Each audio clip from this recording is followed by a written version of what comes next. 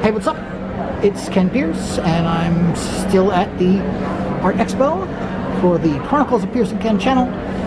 Thanks for watching. Don't forget to subscribe if you haven't done that already. That's the little button that says subscribe and click that notification bell.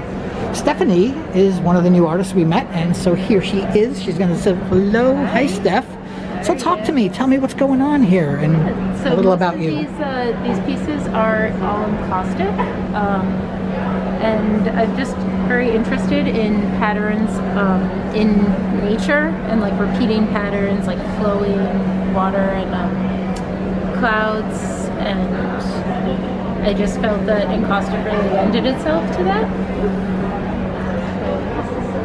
This reminds me of a beach. Yep, that's what I had in mind when I was making that one, for sure. And then this one, I was sort of thinking of like an Arctic, like landscape, ice flows, sort of.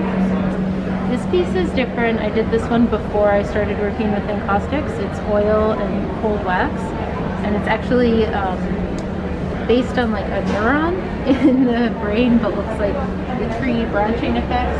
And again, like I said, I was just interested in repeating sort of patterns in nature. Really great. Is this your Thank first you. art expo? or- It is, yep. Very cool. Thanks so much. I hope you have a great show. Thank you.